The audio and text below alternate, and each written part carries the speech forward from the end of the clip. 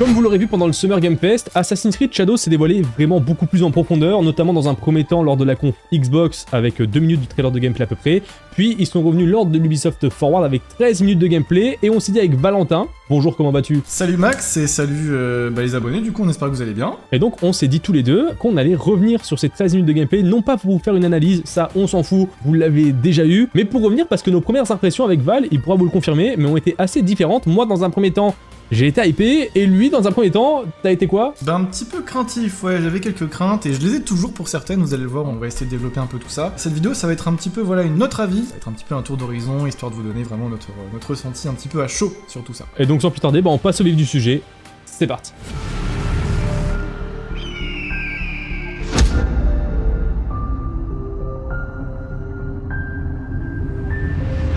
Alors, du coup, un petit peu avant la conférence euh, et avant le Summer Game Fest, on a eu un premier trailer CGI. Euh, la tradition dans Assassin's Creed, avant de montrer du gameplay, on montre une grande bande-annonce en CGI qui dévoile un petit peu l'asset du jeu, etc., ce qu'on pourrait faire. Et moi, pendant ce CGI, hein, Maxime en est témoin et d'autres euh, copains hein, qui, qui, nous suivent, et d'ailleurs, on, s'en est pas caché sur la chaîne, j'étais un petit peu. Voilà, j'étais hypé, mais il y avait quelques trucs qui me, qui me dérangeaient un petit peu, notamment le côté très, très, très bourrin de Yasuke. Et ça se confirme un petit peu dans la démo de gameplay qu'on a eu. Toi, qu'est-ce que t'en as pensé du, du trailer CGI Jusqu'à là, je te rejoins. Pour le premier trailer CGI, on a vu à peu près les mêmes euh, craintes, on va dire. Le côté Yasuke beaucoup trop présent. Bon, vous avez fait un live dessus euh, notamment. Mais pour le coup, moi, je me suis pas trop bridé à me dire que ça allait être mauvais parce que ça restait un CGI. J'ai attendu de voir le gameplay. Et donc là, pour le coup, comme on l'a dit avec Val, on a eu 13 minutes de gameplay encore une fois, c'est énorme. Et donc, euh, bah Val, t'en as pensé quoi? Alors, mon avis aujourd'hui diffère vraiment du premier avis que je t'avais donné parce qu'il y a du temps qui est un petit peu passé, on a eu le temps de vraiment poser, voilà, se poser un petit peu et de regarder plusieurs fois la démo d'écouter aussi le, commentaire des, développeurs parce qu'ils ont sorti une démo commentée avec vraiment ce que ça apporte un petit peu, des choses qu'on n'a pas vues, des choses qu'on verra au cours euh, de la campagne de com. La démo qui était parfois voilà un petit peu longue à certains moments avec des moments de marche, voilà, il y a des trucs qu'on n'avait pas forcément besoin de voir dans une démo. Forcément, il y a beaucoup de nouveautés dans Shadows et on va les aborder après. Et toutes ces nouveautés, c'est impossible de les aborder en 13 minutes, d'autant que c'est la première fois vraiment qu'on voit le jeu en action. Donc voilà un petit peu pour m'expliquer là-dessus. Et toi, qu'est-ce que t'en as pensé de, la démo à chaud comme ça? Bon, d'abord avant de prendre parole, j'ai juste répondre à certains d'entre vous qui vont dire Ouais, mais le jeu sort dans 5 mois, c'est impossible qu'il fasse des modifications. Regardez Mirage entre le moment où on nous a présenté du gameplay pour la première fois et la sortie du jeu. Il y a eu, je vais pas dire c'était le jour et la nuit au niveau du parcours, mais il y a eu des améliorations qui ont été faites. Il a été amélioré, il était plus rapide, plus permissif. Donc, il y a quand même des modifications de dernière minute qui peuvent être faites. Donc, sinon, pour euh, le gameplay, euh, tu l'as vu avant moi parce qu'on va dire que moi j'avais un petit problème d'ordinateur lors de l'Ubisoft Forward. J'avais des messages en temps réel où tu me disais Ah, ça, ça va pas, ça, ça va pas, ça, ça va pas. Et moi, quand je l'ai vu en temps réel derrière, je me suis dit Bah, attends, en fait, euh, moi j'aime bien, j'aime bien, j'aime bien. Le seul point négatif que j'ai eu de prime abord, c'était que, effectivement, dans les 7 premières minutes de la démo, on est vraiment sur du Yasuke qui marche, qui est dans la ville, euh, qui va tout droit et qui a une phase de combat. Et là, je me suis dit, ah ouais, putain, dit déjà le gameplay a l'air d'être lourd, mais en plus de ça, on a le gameplay à la Valhalla en termes de combat. Et après, la deuxième moitié du, gameplay, c'était vraiment autre chose. Et là, tu découvres le jeu que tu as envie de voir, tu découvres que tu peux faire exclusivement le jeu avec Naoe si tu veux. Et là, franchement, il y a tout qui commence à découler de là en fait. T'as vraiment les, deux côtés, euh, donc Yasuke qui est très bourrin et Naoe du coup qui va perso plus m'intéresser. Hein, et Yasuke, c'est plus du coup ma partie crainte à moi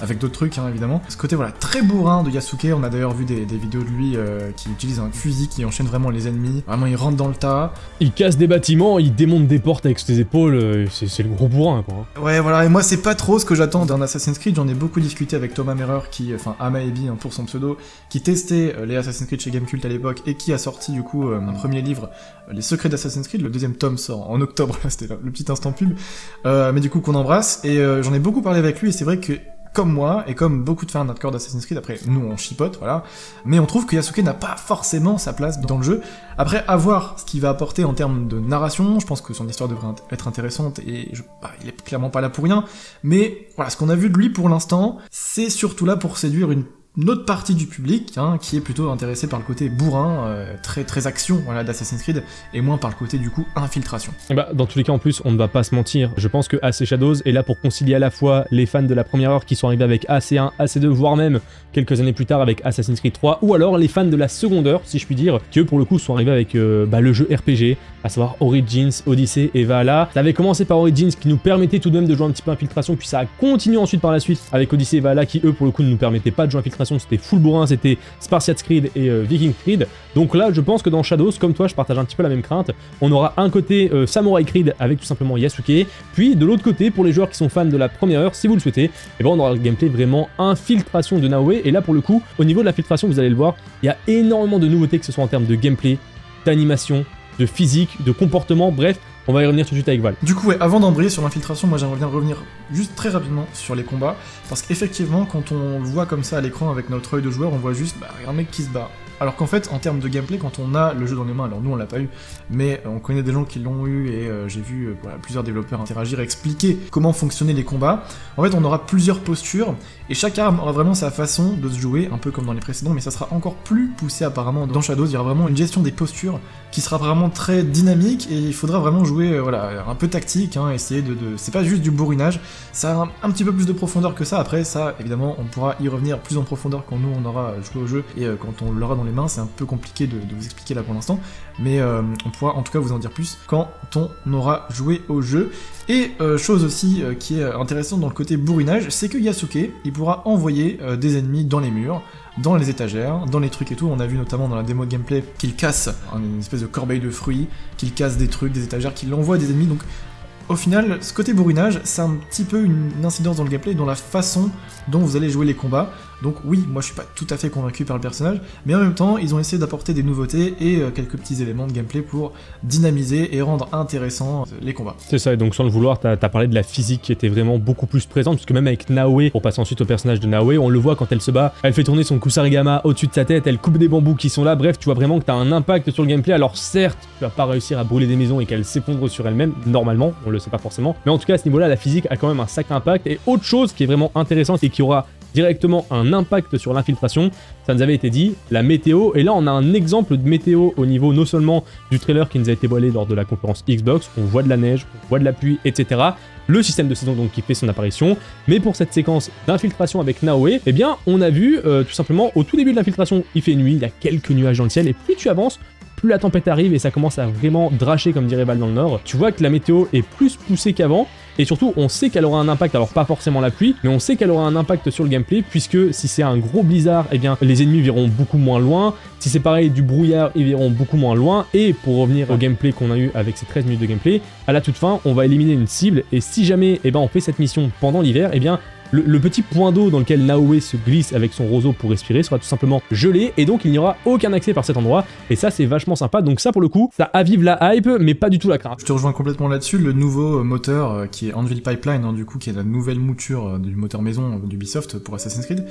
a l'air vraiment de faire le taf hein, pour le coup il y a vraiment plein de nouveaux éléments physiques qui réagissent à votre présence, qui réagissent à ce que vous faites dans l'environnement et qui vont changer dynamiquement parce que comme l'a dit Max il y a un système de saison donc automne, printemps, été hiver, et qui vont vous donner euh, différentes opportunités. Euh, tu l'as dit euh, très justement, hein, quand il pleut, vraiment quand il drache, quand il vraiment il tombe des cordes, forcément bah, vous pourrez vous infiltrer un peu plus discrètement parce qu'il y aura le bruit de la pluie qui va vous couvrir. Quand il fait nuit, c'est pareil, vous, vous pourrez agir dans l'ombre directement, donc vous vous ferez moins facilement repérer, etc. Donc il y a vraiment toute une gestion dynamique de l'environnement au global. Juste espérons que le level design soit, au rendez-vous et permette l'infiltration, mais ça j'ai aucun doute là-dessus concernant Ubisoft, étant donné qu'ils ont sorti Mirage et qu'Ubisoft Bordeaux, qui a développé Mirage, été en aide hein, finalement sur Assassin's Creed Shadows, aide au développement. Voilà, je pense que chaque studio Ubisoft va apporter un petit peu ses, ses talents, et en tout cas, le nouveau moteur, vraiment, de ce qu'on a vu pour l'instant, fait le taf. Alors, effectivement, et ça fait partie de mes craintes, pour l'instant, on n'a pas vraiment vu les saisons en action, et je pense qu'ils auraient pu le montrer là, parce que là, il fallait vendre le jeu,